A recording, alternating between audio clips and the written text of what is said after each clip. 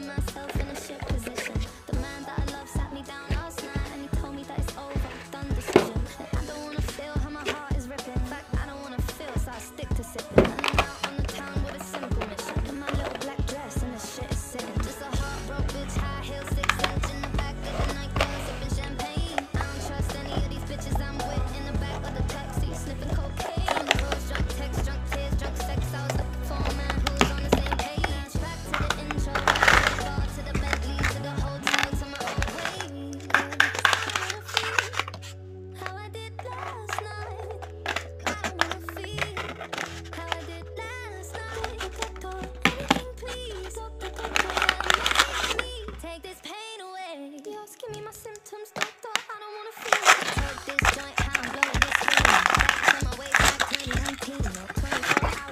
texted I got a new man on me, it's about to get sweaty. Last night we